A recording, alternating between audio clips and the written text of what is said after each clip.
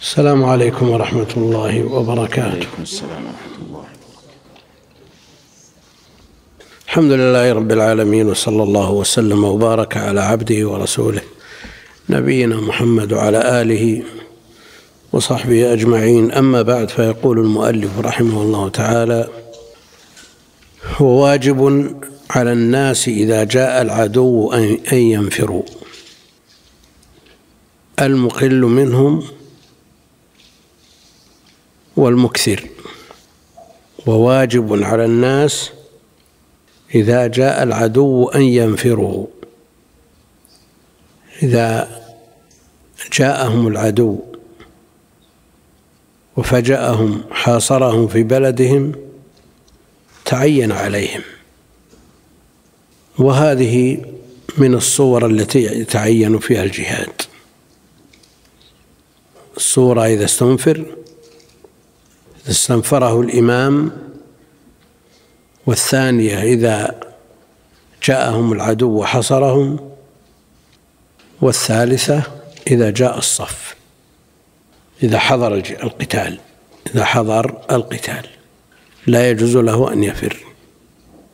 هذه الصورة واجب على الناس إذا جاء العدو أن ينفروا. إذا جاء العدو إلى بلدهم. أو بلد من بلدان المسلمين بالنسبة لمن يلونهم. يجب عليهم أن ينفروا لدفع العدو الغاشم المقل منهم والمكثر. يعني الفقير والغني. الفقير والغني في الصور التي يتعين فيها الجهاد سواء كان غنيا أو فقيرا يلزمه أن يجاهد إذا كان مستطيعا ببدنه فإنه يلزمه الجهاد. والذي لا يستطيع الجهاد ببدنه ويستطيعه بماله يلزمه أن يجاهد بماله.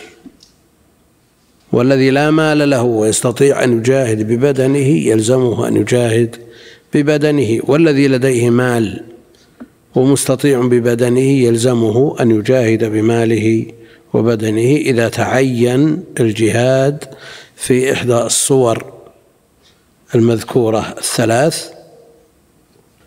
المقل منهم والمكثر وإذا استنفر استنفرتم فانفروا. يلزمه إذا استنفره الإمام.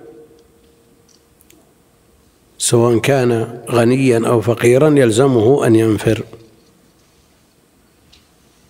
وهل له أن ينيب غيره بماله؟ يستاجر من يجاهد عنه. ها؟ إذا كان وجوب عيني لا لا يجوز له أن ينيب. لكن أحيانا يكون من فروض الكفايات. أحيانا يكون الجهاد فرض كفاية. إذا قام به من يكفي لكن هذا الشخص مع كونه فرض كفاية رأى الإمام أنه أن وجوده في الغزو نافع وخصه وعينه بذلك. فهو فيه في الأصل فرض كفاية وفيه نوع أو شوب تعين. فهل له في مثل هذه الحالة أن ينيب؟ لأنه أحيانا يكتب في الغزو مع أن الناس كلهم لا يكتبون. يكتب القدر الكافي. يكتب في الغزو القدر الكافي. تعين باستنفار الإمام لكنه يوجد بديل مطابق له. أقول المسألة الأصل فرض كفاية. وبدلا من يكون البلد فيه مئة ألف يكفي خمسة ألاف لدفع العدو. هذا قال أنا أنا كتبت وعينت من قبل الإمام لأنهم يكتبون الغزاة لهم دواوين ومعروفون. لكن أنا من مجاهد ولا غازي أبدفع ألف لمن يجاهد عني. فهذا فيه شوب تعين وفيه نوع كفاية باعتبار أنه لا يلزم الجميع.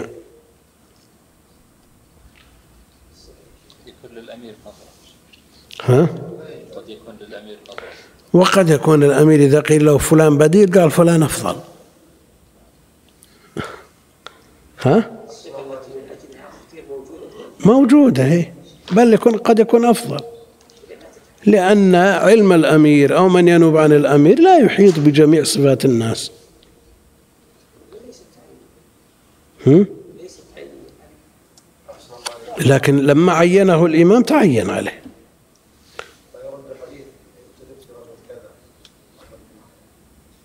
إيه لكن الإمام الذي آه الذي أمره أن يحج مع امرأته هو الإمام نفسه.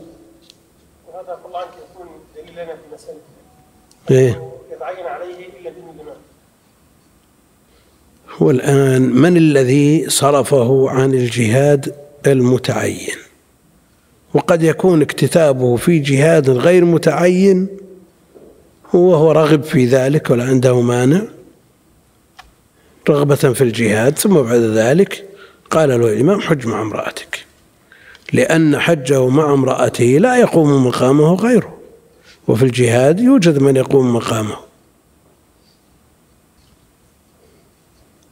يقول وواجب على الناس والتقدير كلهم.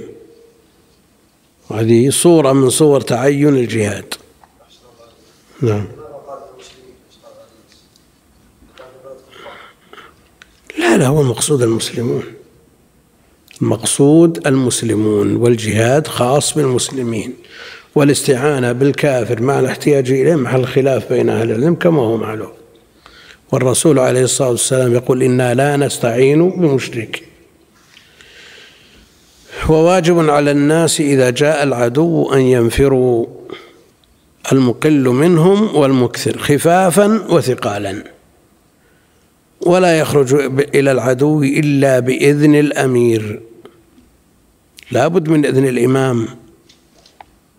لا بد من إذن الإمام. والخروج بدون إذنه افتيات عليه. وعند الإمام مهما كان وصفه لأنه يقاتل مع البر والفاجر.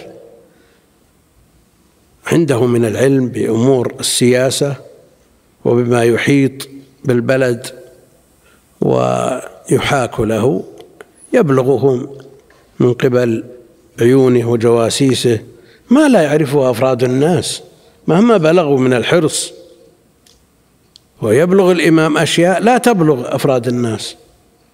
أفراد الناس مصادرهم مجالس ومجالس تناقل أخبار لكن الإمام عين أناس لهذا الأمر. جواسيس واستخبارات وأشياء تقوم بالمهمة. وتطورت هذه الأمور في عصرنا بحيث آه، يعلم آه، ما يدور في البلدان الأخرى من بعد. من بعد هذه الأمور تطورت فلا يفتات على الإمام في هذه المسألة والأمير يقوم مقامه ها؟ ما هو عندنا إمام يلي أمر الجميع؟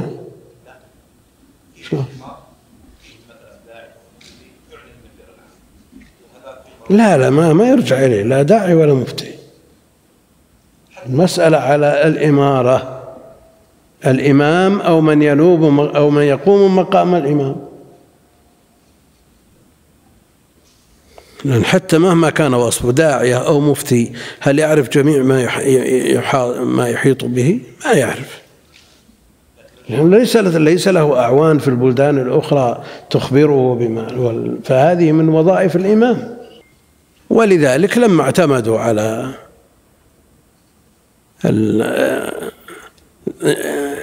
جنبوا الإمام ولم يستشيروا الإمام ولم يأخذوا برأيه. واجتهدوا اجتهادات فردية وذهبوا إلى أناس كل له رأس. اختلفوا تنازعوا حصل القتل بينهم. فأهل الغيرة وأهل الحماس لا شك أنهم عندهم خير والباعث على ذلك هو الخير في الأصل. لكن إذا حصلت المخالفة للأحكام الشرعية يعني إذا كانت المقدمات غير شرعية. إذا كانت المقدمات غير شرعية فلا بد أن تكون النتائج غير شرعية. وهذا هو الحاصل الآن. ذهبوا فيهم خير فيهم فضل وطلاب علم وقدامهم ناس أهل غيرة لكن الغيرة وحدها ما تكفي. ما تكفي لا بد من آه، الاعتماد المقدمات الشرعية. وليس عبثا أن يرد في أكثر من حديث جاء يستأذن النبي عليه الصلاة والسلام في الجهاد.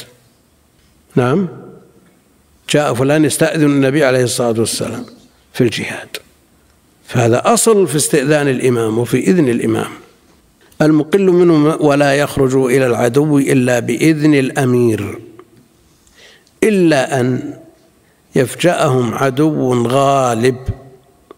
غاشم عنده قوة ومنعه إلا أن يفجأهم عدو غالب يخافون كلبه يخافون شره وأذاه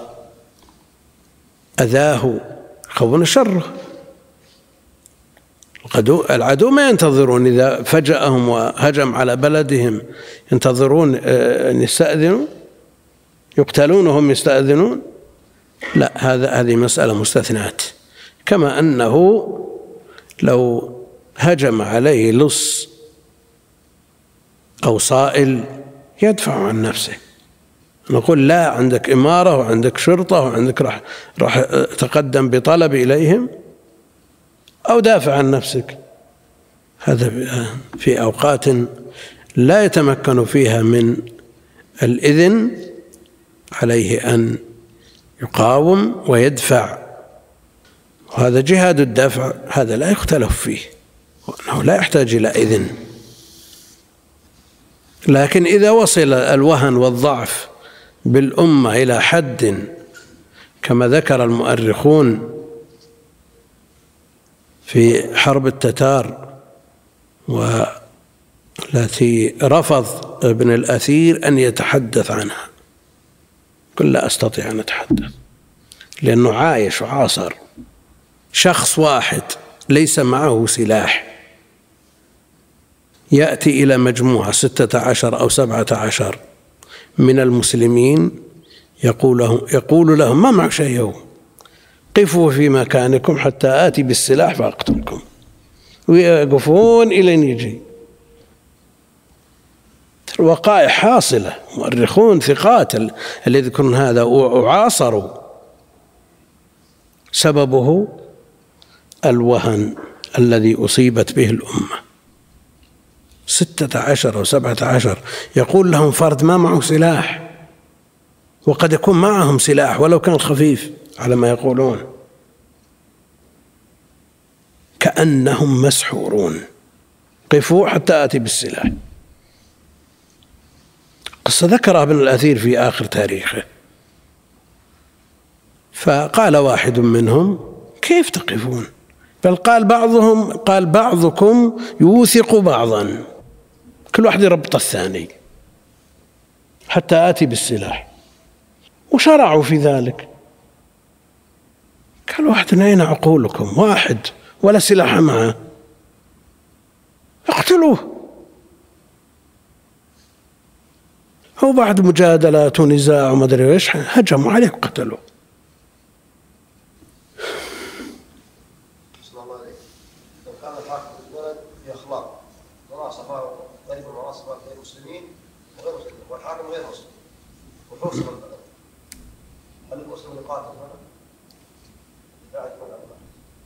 ولا الدفاع الدفاع. اولا لابد من الاتحاد ضد العدو. والأصل أن المسلمون أن المسلمين يتميزون عن غيرهم. لكن إذا وجد مثل مثل أوضاع بعض البلدان الإسلامية التي فيها مسلم مسلمون وغير مسلمين لا بد أن يتفقوا من أجل المصلحة العامة لهم ولبلدهم ويكونوا يدا واحدة ضد عدوهم المشترك. وإلا فالأصل أن الكافر لا يؤمن بل يخشى أن يعين العدو إذا كان كافرا مثله. وهذه من أحوال الضرورات. إلا بإذن الأمير إلا أن يفجأهم عدو غالب يخافون كلبه شره وأذاه ويعرفون قدرته مع أنهم إذا أخلصوا لله وجاءوا بأسباب النصر سوف ينصرون. إن تنصروا الله ينصركم. إن تنصروا الله ينصركم. كاتب من الكتاب من المسلمين في بيئة مسلمة ومن أولاد الفطرة واسمه عبد الله يقول في لما دخل الكفار العراق يقول في في مقابلة إذاعية. يقول الناس الآن تطوروا وصواريخ ودبابات وطائرات وقنابل وأنتم ما زلتم كم من فئة قليلة غلبت فئة كثيرة. الحاد هذا. هذا تكذيب لما جاء في كتاب الله. لكنهم لو صدقوا مع الله وأجاءوا بأسباب النصر ولجأوا إليه ينصرون. إن تنصروا الله ينصركم. فلا يمكنهم أن يستأذنوه الإذن يحتاج إلى وقت. الإذن يحتاج إلى وقت. وإن كان الوضع الآن تغير بإمكانهم أن يستأذنوا ويؤذن لهم في دقيقة. مثل السابق. ولا يدخل مع المسلمين من النساء إلى أرض العدو إلا امرأة طاعنة في السن. يعني ما يذهب بالشواب في حال الحرب إلى بلاد الكفر حتى ولا في حال السلم مع عدم الضرورة إلى ذلك. كم من فتن كم من امرأة فتنت وكم من شاب فتن في ذهابه إلى بلاد الكفر في حال سلم والله المستعان.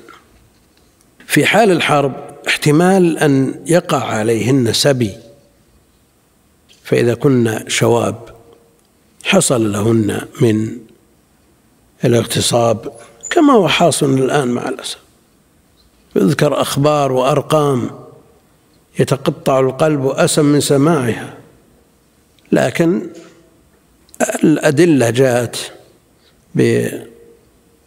باستصحاب النبي عليه الصلاة والسلام لبعض النساء الطاعنات في السن من أجل ما ذكر سقي الماء ومعالجة الجرحى كما فعل النبي عليه الصلاة والسلام.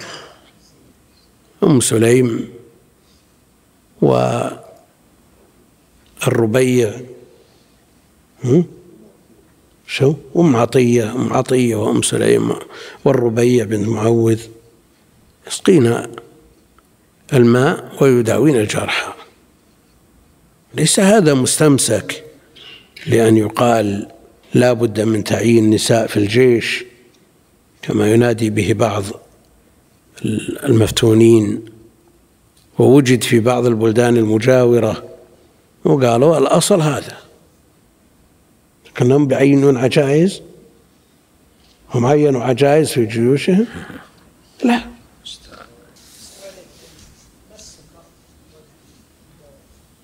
ما يلزم مسكم بحائل أو بأداة أو بآلة. ما يلزم تمس ومع الحاجة وجود الحاجة للطبيب أن يطب المرأة وللمرأة أن تطب الرجل عند الحاجة. ولطبيب مسلم نظر ولمس ما تدعو إليه الحاجة. نظر ولمس ما تدعو إليه الحاجة.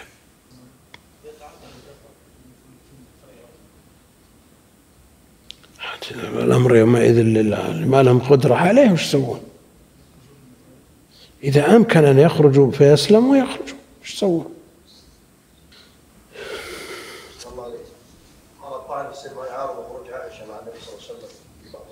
أنا بقول هذا. النبي عليه الصلاة والسلام في غزواته آه، يقرع بين نسائه في أسفاره. فقد تخرج الشابة لا سيما مثل عائشة رضي الله عنها شابة صغيرة لكن هذا مع غلبة الظن مع غلبة الظن ومع حفظه وحفظ عرضه عليه الصلاة والسلام وصيانته من الله جل وعلا فلن يقع عليها ما يسوءه عليه الصلاة والسلام. يقول وإذا غزا الأمير بالناس اقرأ الشيخ. بسم الله الرحمن الرحيم الحمد لله الحمد لله رب العالمين وصلى الله وسلم على نبينا محمد وعلى اله وصحبه قال رحمه الله تعالى واذا غزا الامير بالناس لم يجز لاحد ان يتعلف ولا يحتطب ولا يبارز علجا ولا يخرج من العسكر ولا يحدث حدثا الا باذنه ومن أعطي شيئا يستعين به في غزاته فما فضل فهو له فإن لم يعطه لغزاة بعينها. فإن لم يعطى. عندي لم يعطه. فإن لم يعطى. هذا أوضح. فإن نعم. لم يعط لغزاة بعينها رد ما فضل في الغزو. وإذا حمل الرجل على دابة فإذا رجع من الغزو فهي له إلا أن يقول وإذا حمل الرجل على دابة فإذا رجع من الغزو فهي له. حمل حمل. حمل الرجل. مو بحمله هو نفسه؟ ها؟ لا. أعطي دابة. فتبقى دابته له. ها؟ فتبقى دابته له يا شيخ. لا ما هي بدابته حمل عليها وما عنده ما عنده دابة. مثل قصة عمر مع هم؟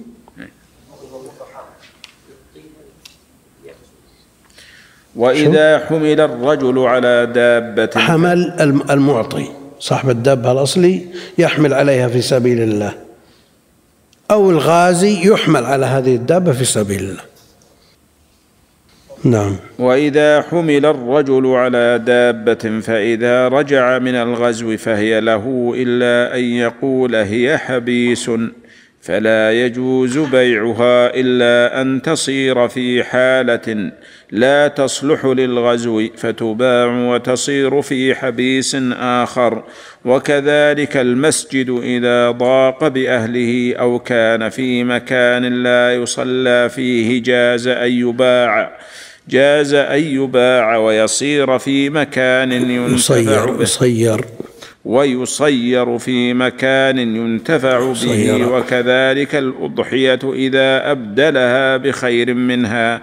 وإذا سبى الإمام فهو مخير إن رأى قتلهم وإن رأى من عليهم وأطلقهم بلا عوض وإن رأى فادى بهم وإن رأى أطلقهم على مال يأخذه منهم وإن رأى استرقهم غي ذلك رأى أن فيه نكاية للعدو وحظا للمسلمين فعل وسبيل من استرق منهم وما أخذ منهم على إطلاقهم وما أخذ منهم على إطلاقهم سبيل تلك سبيل تلك الغنيمة وإنما يكون له استرقاقهم إذا كانوا من أهل الكتاب أو مجوسا فأما من سوى هؤلاء من العدو فلا يقبل من بالغي رجالهم إلا الإسلام أو السيف أو الفداء.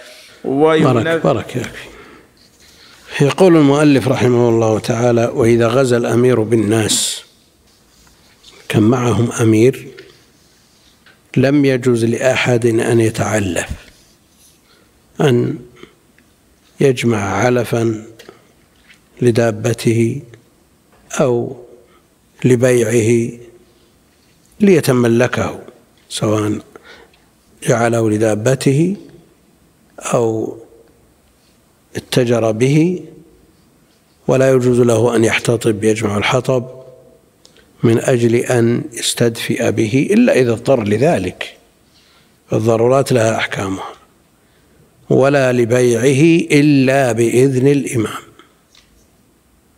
إلا بإذن الأمير إذا لم يكن الإمام الأعظم هو الغازي بالناس فما ينيبه فهو أميرهم. يقوم مقامه ويأخذ حكمه. ولا يبارز علجا إلا بالإذن. لا بد من الاستئذان لأن الأمير له نظرة. قد يرى أن هذا الرجل المبارز أضعف من أن يبارز هذا العلج هذا الكافر. فيقتله ثم يخرج ثاني فيقتله إذا كان بدون إذن فيحصل الوهن في في المسلمين ويضعفوا عن المقاومة. إذا وجد واحد شجاع منهم من الكفار يطلب المبارزة فلا بد من إذن الإمام. قد يرى الإمام أنه لا يبارز هذا لا يبارز. وقد يرى أن هذا الشخص لا يصلح لمبارزة هذا الكافر. ثم يستأذنه آخر ويقول لا مانع. المقصود أنه إذا كان معهم وهذا هو الأصل في الغزو لا بد أن يكون فيهم أمير نائب عن الحاكم الذي هو السلطان. لم يجوز لأحد أن يعتلف ولا يحتطب ولا يبارز علجا ولا يخرج من العسكر. لا يخرج من العسكر. يعني لا يبعد عنهم. لا يبعد عنهم. ولا يحدث حدثا. ولا يحدث حدثا. ليس من شأنه التعلق أو العلاقة بما هو بصدده. مما فيه مصلحة للغزو لا يجوز له أن يفعل شيئا إلا بإذنه بإذن الأمير. التركيز على إذن الأمير في كثير من المسائل بل في جميع مسائل الجهاد له شأنه. ولأن نصوص الجهاد إنما خوطب بها الجماعة لا الأفراد. خوطب بها الجماعة لا الأفراد ويمثل الجماعة أميرهم. يمثل الجماعة أميرهم. تصور لو أن كل نص من نصوص الجهاد رأى كل فرد من أفراد المسلمين أنه مخاطب به على جهة الفردية وصار كل واحد يركب خيله ويجاهد. امتثالا لنصوص الجهاد من غير أن يتفقوا على شيء وكل واحد مسك له سبيل واحد مسك له طريق وقد واجتمع جماعة فخرجوا. وهؤلاء الجماعة لا يدري من لا يدرى من يجاهدون ولا يدرى من يقاتلون. وقد يكون تكون تكون جهادهم من المسلمين من قتال بعض المسلمين أو الخروج على الإمام مثلا. فلا بد من التنظيم. والإسلام دين نظام ما هو بدين فوضى. لا بد من هذا. ولذلك يكررون في كثير من المسائل بإذن الإمام. ذكرنا أنه في قضايا متعددة من جاء يستأذن النبي عليه الصلاة والسلام في الجهاد.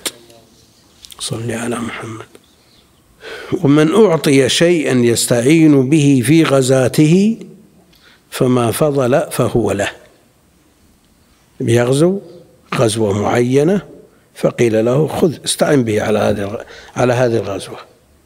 اللي يبقى له كما لو أعطي ليحج عن أحد.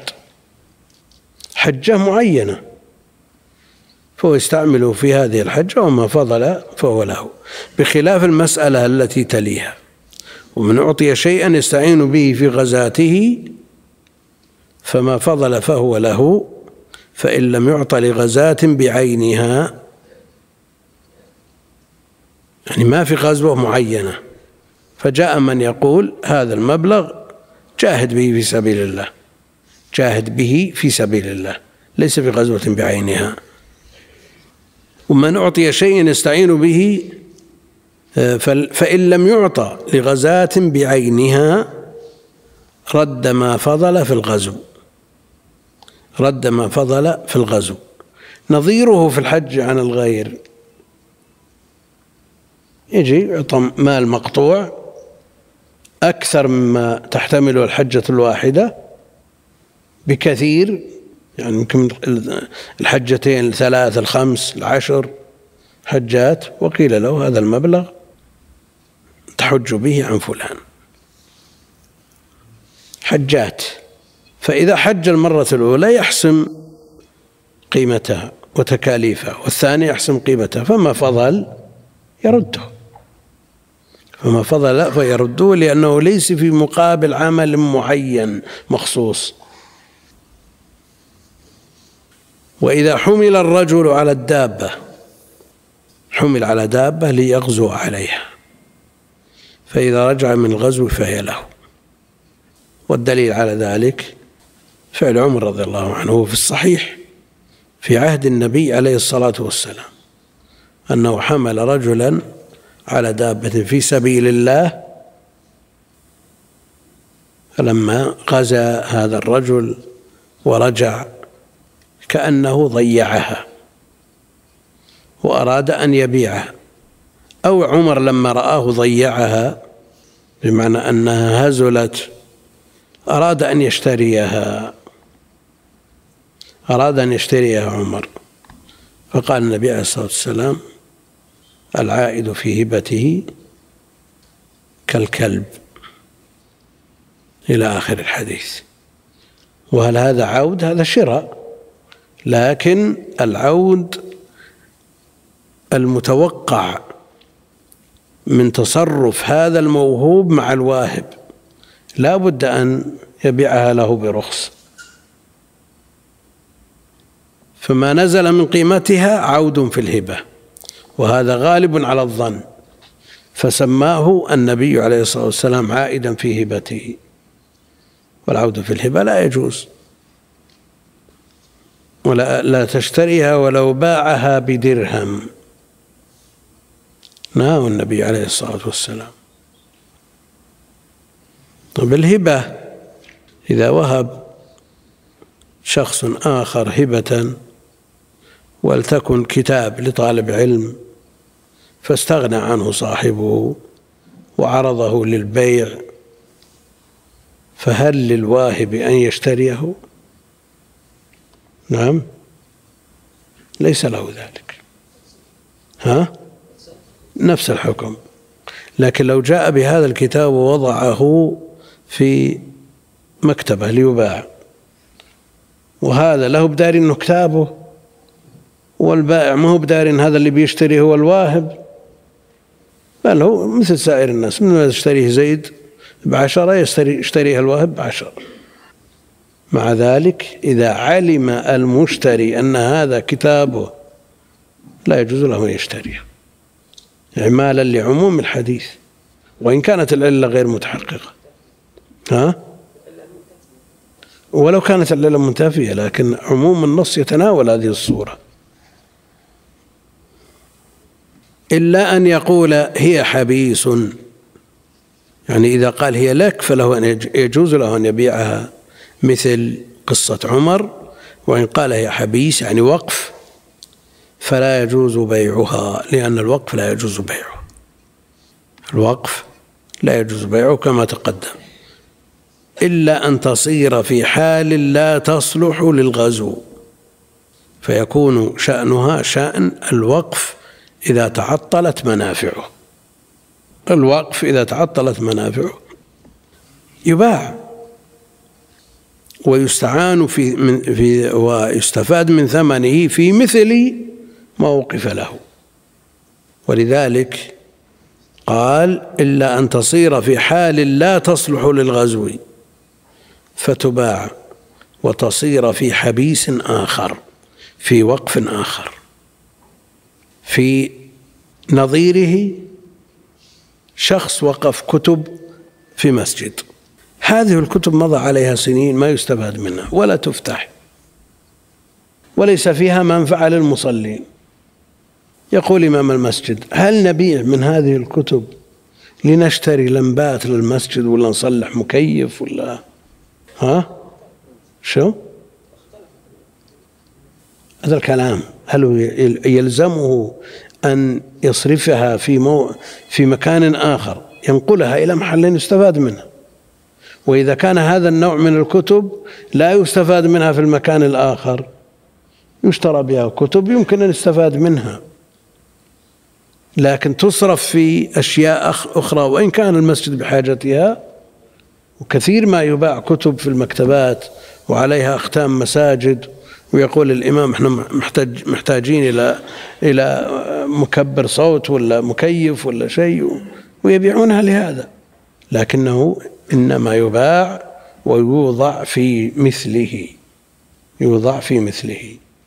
طيب كثيرا ما توقف الكتب والمصاحف تأتي مكتوب عليها وقف على المسجد الفلاني. أخرجت من هذا المسجد وبيعت لأن قيامها غالية مخطوطات مثلا. ف يؤتى بها فتباع هنا. كيف يصرف ثمنها؟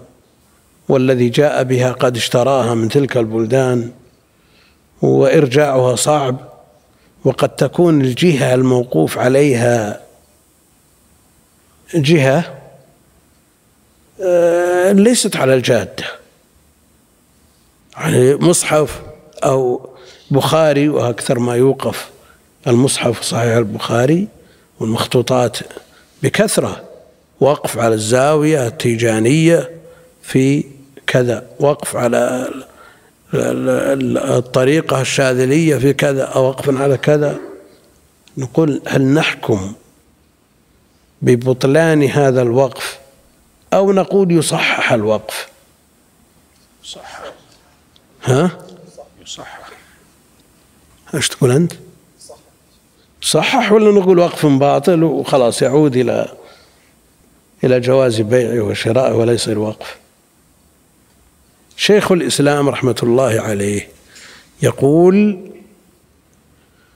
الوقف إذا لم يحقق الهدف الشرعي منه فليس بوقف. المعنى هذا أنه رجع حرا يباع ويشترى وارتفعت عنه الوقفية فنقول مثل هذا القول فيما ذكرنا في المسألة السابقة. أو نقول من خاف من موص جنفا وإثما فأصلح بينه فلا إثم عليه. بدل ما هو على زاوية يوضع في مسجد فيه حلقات علم يستفاد منه.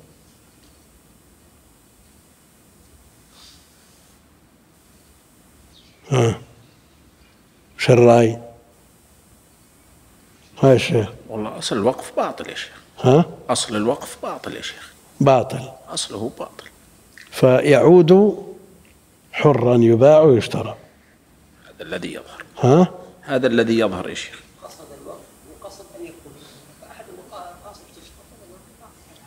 لكن المقصد الأول مبني على المقصد الثاني. لا ينفك عنه يعني تصحيح تصحيح الوصية وتصحيح الوقف ما له أصل شرعي في الآية ها؟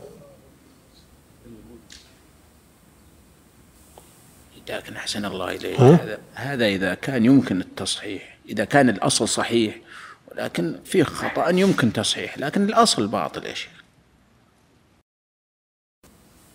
الأصل أنها عين يمكن الانتفاع بها؟ بس أصل الوقف باطل أحسن الله إليك يعني. بطلانه طارئ لأنه على هذه الجهة. وإلا فالأصل أن العين عين منتفع بها يصح وقفها في الجملة لا على هذا المكان يمكن تصحيحه فهل التصحيح من باب فأصلح بينهم؟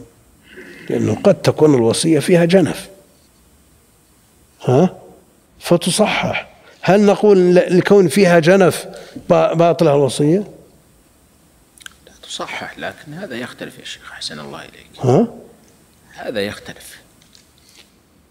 بنتوصل إلى فارق.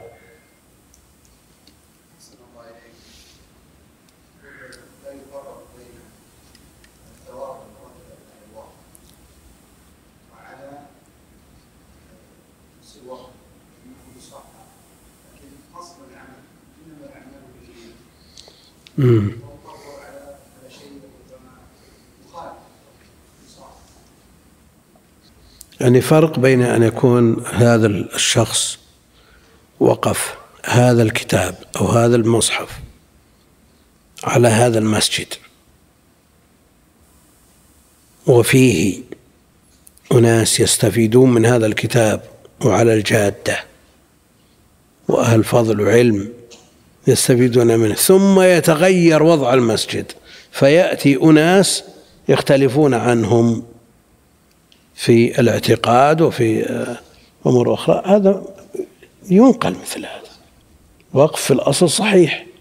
لكن إذا كان الوقف مقرونا بما يبطله فهل يمكن تصحيح؟ ها؟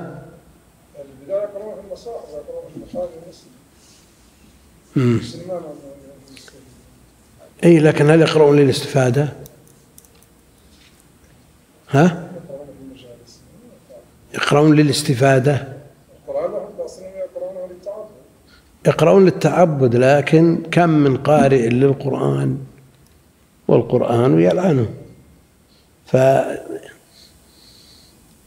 كان لا يستفيد منه ما يستفيد منه ومن يحرره ها؟ من يحرره من يستلم ماله ومن فيها اشكالات كثيره المراجع الدينية. لا- لا- ومشكلة حتى المراجع أحيانا تكون م- ها؟ في بعض البلدان المراجع. مثل هذا. البلاء من المراجع. لكن إذا جاءنا من من الآفاق في بلدنا وعرض في مكاتبنا يشترى ولا ما يشترى؟ ها؟ ويملكه أفراد ولا يوضع في مكان مناسب مثل إيه لا هذا مبني على القول ببطلان الوقف مبني على القول ببطلان الوقف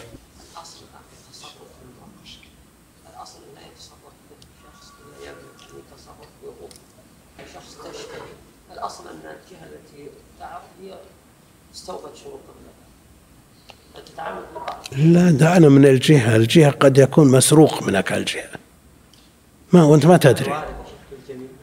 أنت.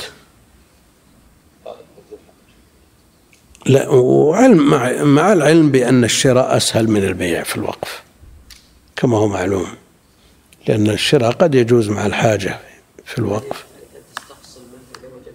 مكتوب عليه وقف لله تعالى على كذا الان اذا تعطل في المبلغ أو نقول أساسا لابد التصحيح ولا يمكن ان هذه مسألة يعاني منها أهل المكاتب. يعاني منها أهل المكاتب ويعاني منها رواد المكاتب اللي يشترون منها ويأتي كتب نفائس غالية جدا. وأحيانا يكون موقوف على شخص مات من من من عشرات من مئات السنين. موقوف على شخص. يباع ولا ما يباع؟ ها؟ الشخص انتهت عينه أول قال على ذريته ما تناسلوا ها؟ أصل في حوائل وحواجز بين البلدان وفي كثير من الأمور لا يمكن أن يوصل إلى حقيقتها ها؟ أنت جاءك كتاب الأصل فيه المنع. الأصل فيه المنع. وقف. على فلان وذريته ما تناسلوا. قال كالبائع هذول من قرضين من من مئة سنة أو أكثر. لا وجاءنا آه، شيء جديد بالنسبة للكتب. يأتون بكتب عليها أختام مكتبات قائمة. مكتبات كبيرة وقائمة ومعروفة ولها روادها. ويقولون إن عندهم شيء يقال له التحديث. كتب قديمة ما تصبر على استعمال طلاب العلم. فتباع ويشترى بقيمتها أضعاف. ما بيع؟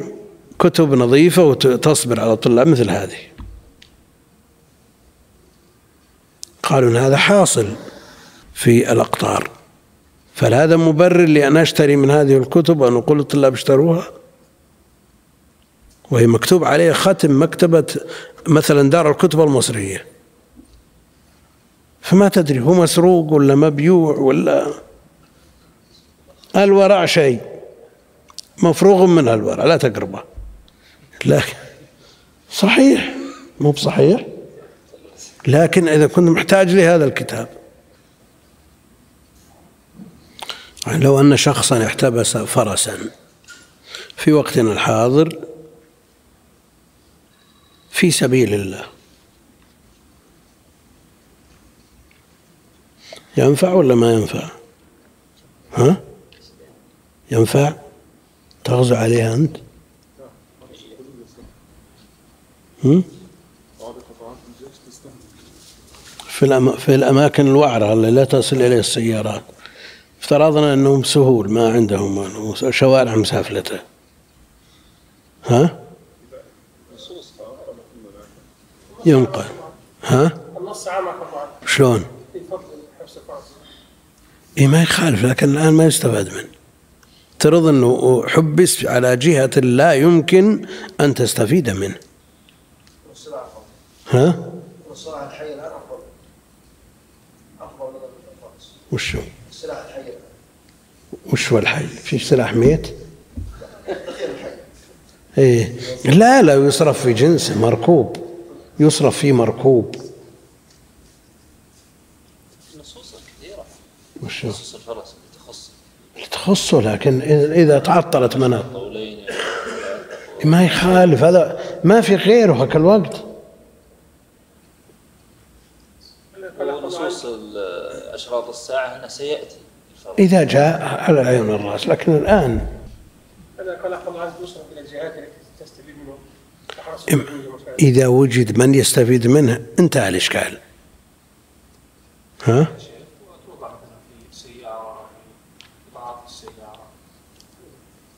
أول ما جاءت السيارات الونيتات الصغيرة ذي الداتسون والهيلوكس و كانت تباع خمسة آلاف ستة آلاف. ذاك الوقت. وكان الحمار أكرمكم الله قبل مجيئها بقليل بهذه القيمة. هم؟ شو؟ ما هي فيها ندرة لكنها محت... محت... الحاجة. ما في وسيلة غيرها. فلكل زمان دولة ورجال. الآن ما تستطيع أن أن تستعمل ال- ال- الدواب والآلات المستعملة سابقا في مقابل الآلات الحديثة. شو؟ الشرطه الان ما يسمى يستخدمونها داخل حتى هو إذا كان لها مجال فلا مانع. استغ- قد تستعمل في الجهات الوعرة. البرذون يكون ما يستعمل في الجبال والأماكن الوعرة. والسيارات ما تركه. يبقى النص. إلى يوم القيامة. نذكر في صحيح مسلم. خيل معبود من آصية إلى يوم القيامة. المغنم الغنيمة والأجر ما يخالف الغنيمة. الغنيمة يبقى الأجر أجل اربطها ببيتك وخلاص. إيه ما يخالف. تبي تمتلث النص وتجعلها في بيتك الله يقويك. ها؟ الله عنك ألا يقال يا شيخ الله عنك ها؟ أن الأجر مترتب على الفرس ونفسه وعلى السيارة هي في, مكانه. هي بديلة عنه بل أفضل منه ها؟ الآن لو لو يوجد شخص في سرعته أسرع من الدابة وكما سيأتي للراكب ثلاث أسهم سهمان لفرسه وسهم له والراجل سهم واحد؟ أعطى النبي عليه الصلاة والسلام ابن الأكوع مثل الركبان لأنه سريع. يسبقهم يسبق الركبان. المسألة مسألة معنى مسألة لفظ. وكذلك المسجد إذا ضاق بأهله. المسجد إذا ضاق بأهله. مسجد ضاق بأهل الحي. فإنه يباع ويوضع توضع قيمته في مكان أوسع يزاد عليها بقدر الحاجة وينتقل منه إلى إذا لم يمكن توسعته مع بقائه. إذا لم يمكن ذلك محصور من جميع الجهات ما يمكن الزيادة فيه. فيباع وينقل تنقل قيمته إلى مكان أوسع بحيث يسع أهل الحي. وكذلك المسجد إذا ضاق بأهله أو كان في مكان لا يصلى فيه. حي هجره الناس وانتقلوا منه. الشيء رأينا في بعض البلدان بعض الأحياء؟ مهجورة. ما فيها أحد. ولا حول المسجد أحد. حينئذ ينقل لأنه تعطلت منافعه.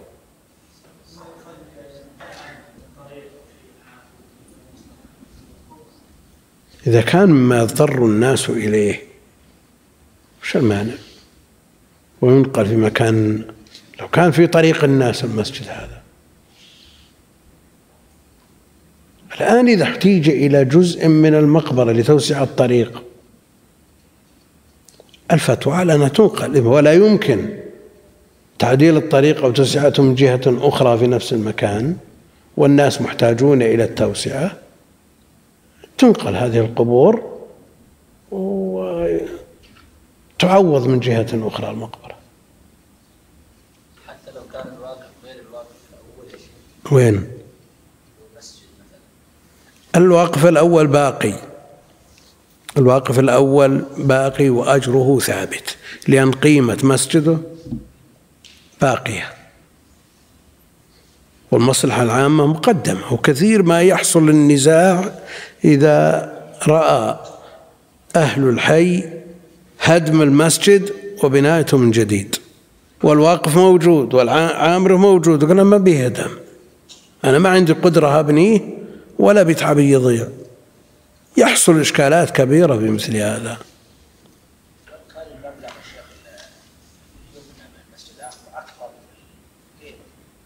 شلون؟ وقد يمكن في موقع تجاري المسجد القديم؟ لكن هل تعطلت منافعه أو استفاد منه؟ صحيح قد لا يستوعب الناس. لأن المواقع التجارية في بعض الأوقات يصلون الناس في الشوارع أضعاف من يصلي في المسجد فيحتاج إلى توسعة. ما أمكنت توسعته وقيمته مرتفعة ويمكن أن يشترى بقيمته ضعفي مساحته. شريطة ألا يشق على المصلين اللي بجواره. تشيل لي مسجد على شارع عام بجواره أناس ومحلات ويزدحم بالمصلين. ثم تقول لا والله نبي نبعده بأقصى الحي أرخص. ما تجي. لأنه حينئذ ما تعطلت المنافع. يقول جاز أن يباع ويصير في مكان ينتفع به. يصير في مكان ينتفع به. وكذلك ها؟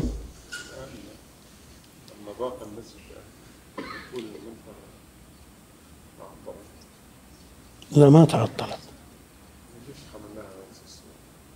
وكذلك المسجد إذا ضاق بأهله ضاق بأهله ولا يمكن توسعته.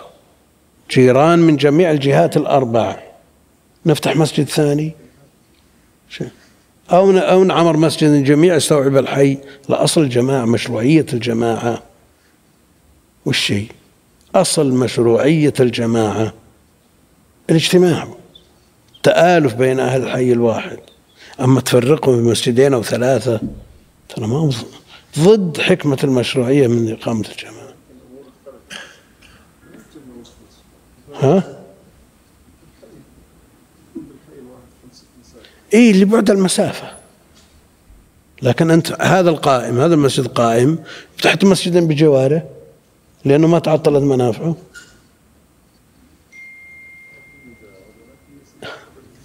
ما تنضبط. إذا أمكن جمعهم في مسجد واحد فهو الأصل. نعم.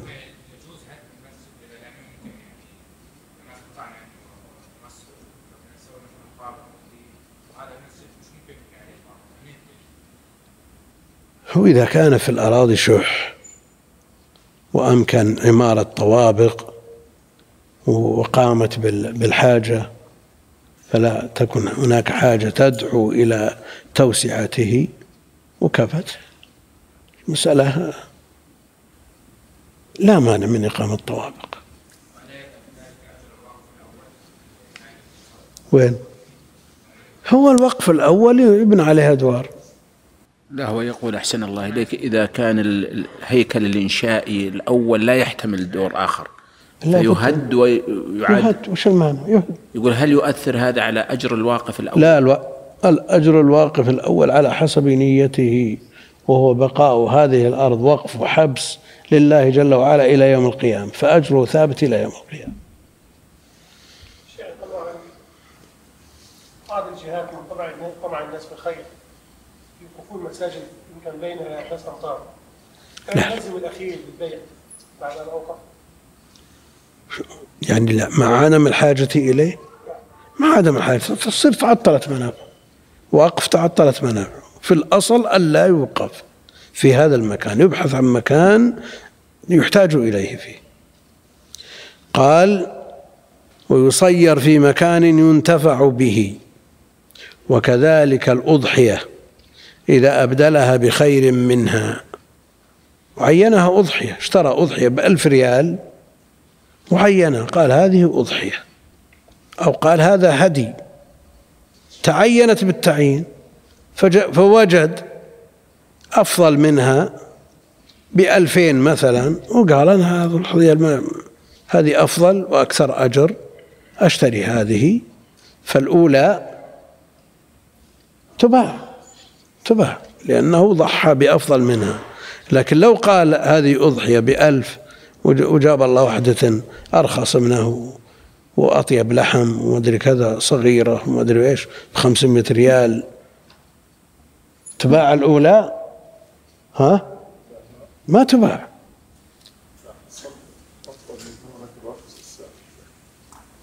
مهما كان قيمتها وقف. قيمتها أضحية. أحسن الله إليك. شخص بنى في ناحية من بيته مسجدا إيه. لأهل الحي وفتحه لهم. ثم رأى أهل الحي أن يقيموا مسجدا خارج البيت. إيه. وهو آه، نيته الوقف؟ هو نيته مسجد. خلاص. خلاص لكن الآن لما بني هذا المسجد. لأنهم يفرقون بين المساجد والمصليات التي تكون في المصالح والدوائر الحكومية والمحطات وهذه. لا إذن لا بنية الوقف لكن فهي مع مكانها. لكن الآن يعتبر تعطل المسجد ببناء المسجد الآخر. فهل يشتريه لنفسه ويضع القيمة في في في هذا المسجد الآخر أو في مسجد غيره؟ إذا كان محتاجا إليه فهو أحق به بقيمته. بقيمته. بقيمته. أجر الجماعة يا شيخ في المسجد؟ ها؟ أجر الجماعة. ثواب الجماعة. الأصل مسجد. هذا الأصل. والمصلى وليس بمسجد. لأنه مسجد حاجة.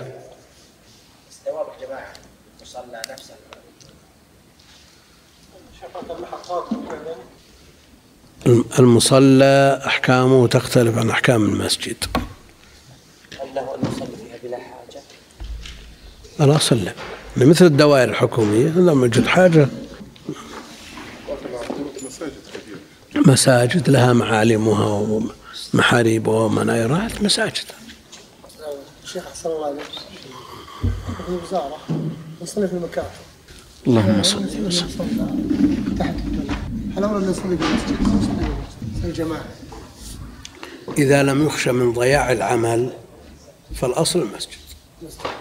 إذا خشوا أن يتفرقون الموظفين واحد يروح يمين وواحد يسار وواحد يصلي وواحد يصلي بمكتبه ولا يصلي جماعة.